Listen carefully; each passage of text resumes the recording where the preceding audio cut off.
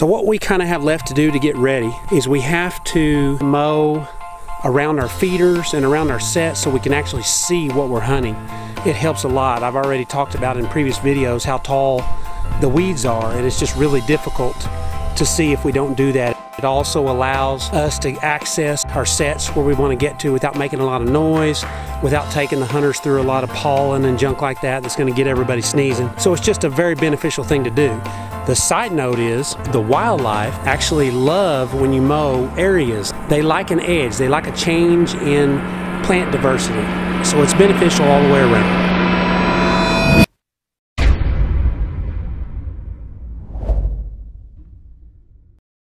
Hey, good afternoon. Uh, I don't know if, if Lisa's put it in a video yet. Lisa does kind of the editing and stuff. We've been doing, uh, we've been mowing and mowing some of the areas where we're going to be hunting because with that giant ragweed, I know she showed some videos where that giant ragweed is so, gi so gigantic. Hence the name. Somebody was a genius when they made that. I don't know if Adam made, named that or what, but anyway, uh, so we have been mowing a little bit. So I had a breakdown on the tractor, and so I got a mechanic over here that's working on them. I'm just going to check on them real quick.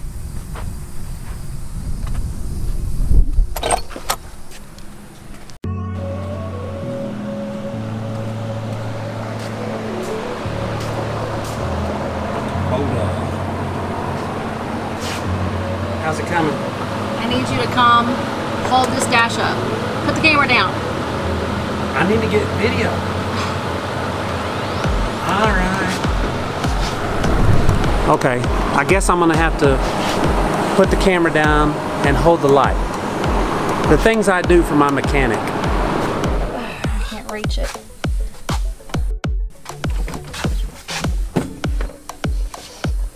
Okay. Rather than hold the light, I was I found her a light. It's a magnetic light, so you can see, or maybe you can see down in there. I'll see if I can get on the other side, but you gotta have little bitty hands to get it up under there and do what she's doing, or you gotta take you gotta take this thing all the way off. And that involves taking the hydraulic control mechanism off for the bucket. So luckily I know somebody with pretty small hands. The problem is Brett told me don't drop this nut. He's put a lot of pressure on me. I did what? He told me not to drop this nut. He's threatened me. If I do, I'm in big trouble. Okay. Get it? You drop it. There went the first washer. Did you really drop yep.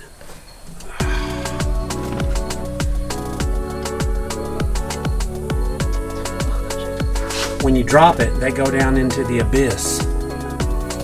Mm -hmm. no, no, oh wait, I see it. She sees it. Can I get it is the question.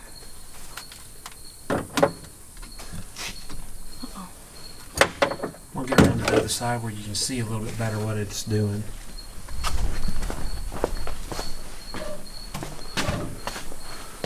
How about a new one? I'll get this one out later. That's wait, fine. wait, maybe I, I, I might be getting it. I got it. Okay, don't raise it. You got it? Yeah.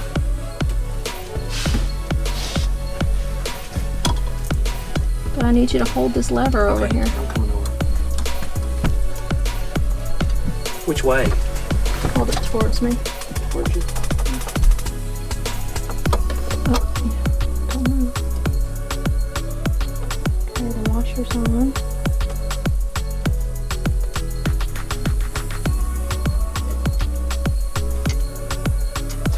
You should have seen her when I had her standing on her head, hooking up the throttle cable on the skid steer.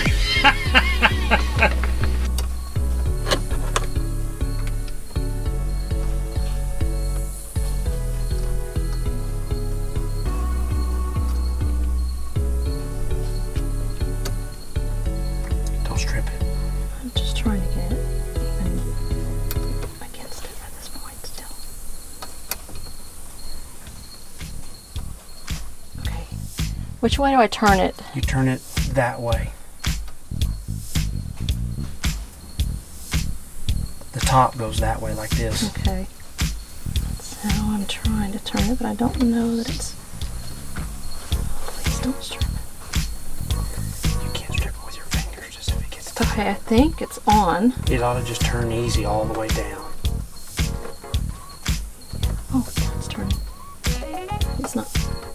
Whole thing turning? I can't see. Okay. It's on though, Brett. How far? Is the bolt sticking out yet? No. Uh. I'm looking to see if the whole thing is turning. Okay, it won't turn anymore. I Okay. can't. I can't get it. Then it's probably on there.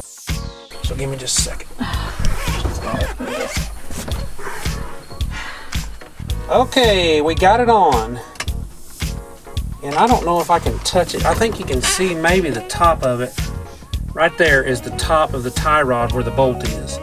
And it's hooked up to a plate up in here that goes to this this gear shift right here.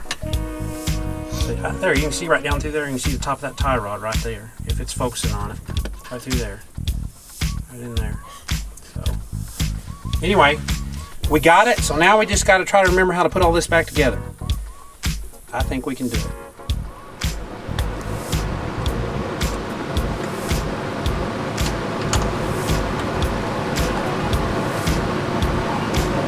Finishing touches.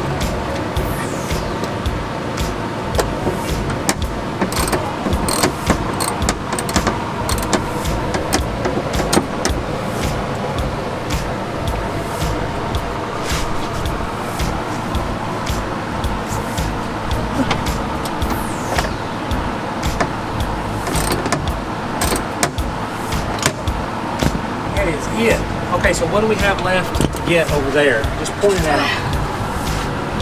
These little push-in, Little grommet things. little grommet things that Okay. just finish off holding this. All right, how many of those do we need to get? We we need ten, so I'd get a dozen. Okay, So I'd get twenty. otherwise, she's got her all fixed. I had to stop and help a little bit. You know, I had to get a light, and get a screwdriver, and get a wrench, and all that stuff.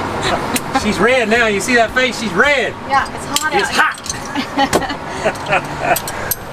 all right. Nice, quick job. Jazzy.